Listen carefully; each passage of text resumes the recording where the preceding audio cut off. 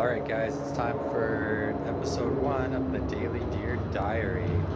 For those of you who know me well, you know it's very hard for me to be in front of a camera and take it seriously. Normally I'm a little, little uh, joker in front of the camera.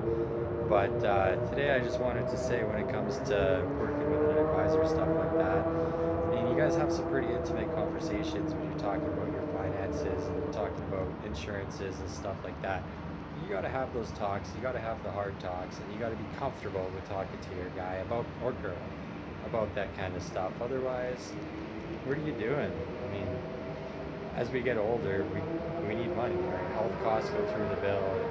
They go up through the roof.